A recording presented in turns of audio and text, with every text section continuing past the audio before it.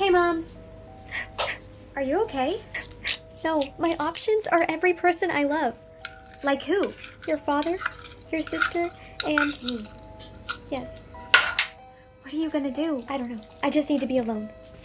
She only has 24 hours to pick. And whoever she picks will change this family forever. I'm still here. Maybe she hasn't picked yet. Good morning. Good morning. Mom? Sis? Why are you crying? And where's Dad? Mom had to pick him, okay? Don't make her feel worse than she already does. Jessica, are you okay? You've been quiet. My mom had to goose my dad today. He's gone. That's horrible. I'm so sorry.